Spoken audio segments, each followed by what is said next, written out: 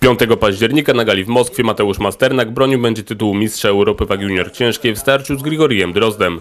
Występ Polaka poprzedzi walkę o trzy mistrzowskie pasy kategorii ciężkiej pomiędzy Władimirem Kliczką i Aleksandrem Powietkinem. Jak popularny master ocenia szanse głównych bohaterów sobotniej gali? Tutaj chyba chcę się tylko powiedzieć jedno, jedno słowo, czyli Kliczko. Ale no, Powietki moim zdaniem z obecnych jakby pretendentów jest zawodnikiem, który może napsuć e, klicze, kliczce trochę krwi pod warunkiem, że będzie lepiej przygotowany niż do walki z hukiem.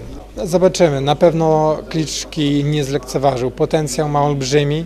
Jeśli wykorzysta, wejdzie w półdystans, może, może, może zrobić niespodziankę, nawet taką akcję jak e, z Andrzejem Wawrzykiem, pomimo, że to trochę inny poziom e, sportowy Kliczki i Andrzeja. Pojedynki Masternak, Drozd i Kliczko Powietkin pokaże na żywo Polsat Sport. Początek studia przed galą o godzinie 17.30.